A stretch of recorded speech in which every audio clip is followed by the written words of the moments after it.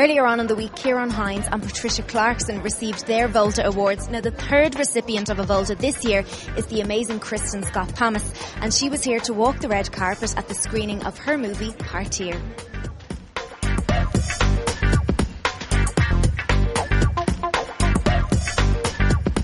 Is this your first visit to the festival? Yes, it is. And how are you finding it so far? How does it compare to other festivals? Um, well, I haven't really had the festival experience yet. Um, I had to get in. I'm working on a movie, so I had to sort of fly in, and I'm flying out tomorrow morning at the crack of. So I'm sorry, I'm going to miss out the fun. And you have been awarded with a Volta. How did you feel when you heard about that? Well, I feel very honoured and privileged and rather excited. and you're here to promote your new movie, Partir. Um, tell us a little bit about that.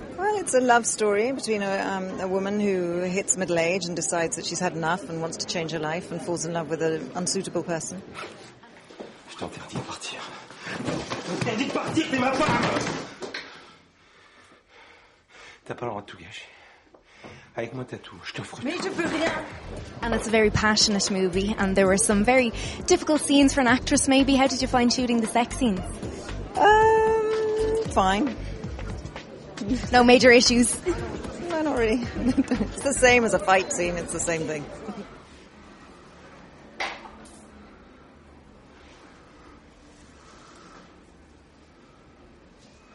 And you're nominated for a César um, on Yeah. tomorrow night. Um, how do you feel about that?